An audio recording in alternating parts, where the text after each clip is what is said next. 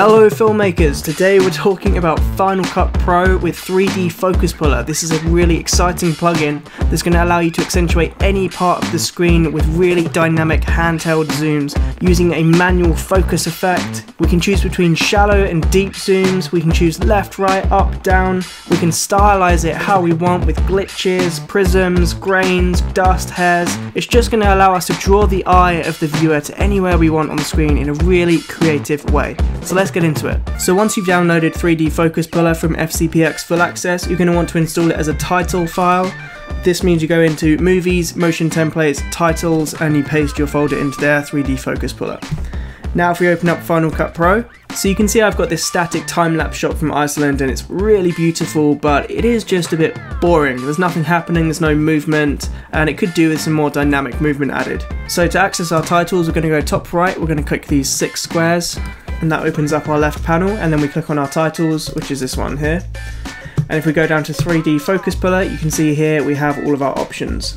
Now these are broken down into three main categories. There's the custom, and this is just the effect without any zoom effects, so if you wanted to keyframe something yourself, you could. Then we have zoom ins and zoom outs. Now you can see these are split up into deep zoom ins and shallow zoom ins. The way the plugin is going to work is we're essentially going to match one zoom in to the zoom out. So you see if we grab deep zoom in here from the center and we drop it above our clip, all of a sudden that's going to automatically make that zoom in. So that's what it looks like. And it comes fully stylized out of the box. So you can see on the right hand side here we have everything clicked. We have our defocus, our handheld, our prism, dust and hairs, and our film grain. If we were to take those all off it would just be a simple zoom in effect but I like it with the defocus and the handheld really adds like a real human element to the footage. So we can tweak these parameters how we want, maybe we could bring the defocus down a little bit if that's a little too much for you and we can change the speed of our handheld shake and how much we want it to shake.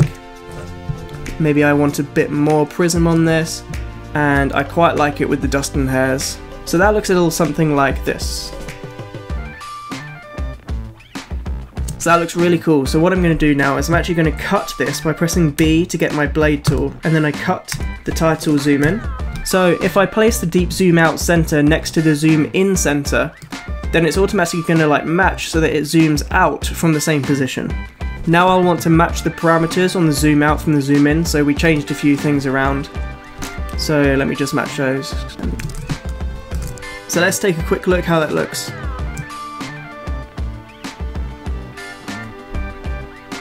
Really nice.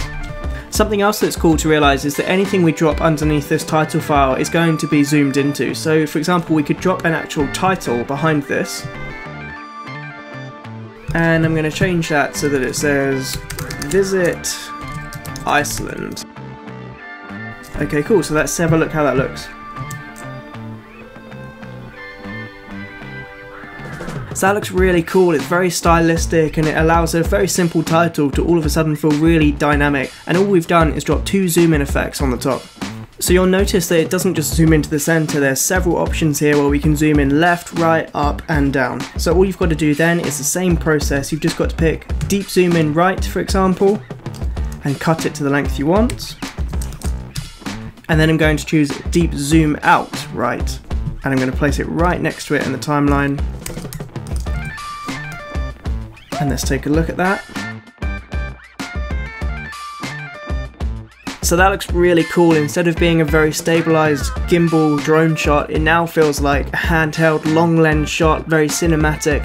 And you can just see how this can be used really effectively to accentuate certain things in your scene, in your clip, with really, really easy controls. So we're super excited to see how you guys use this one. Stay creative with it, and we'll see you in the next tutorial.